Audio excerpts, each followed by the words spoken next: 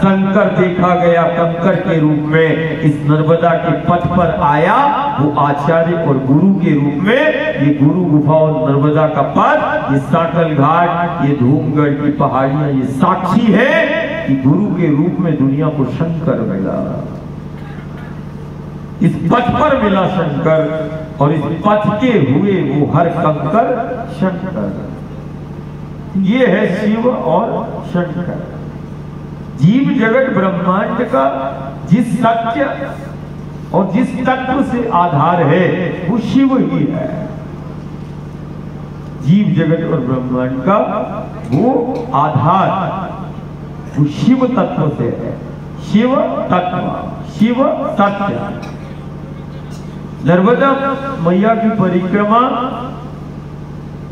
ये तत्व का बोध कराती है। अग्रज, सब तीर्थों की नायक और सब तीर्थों की जननी माँ नर्मदा को कहा गया।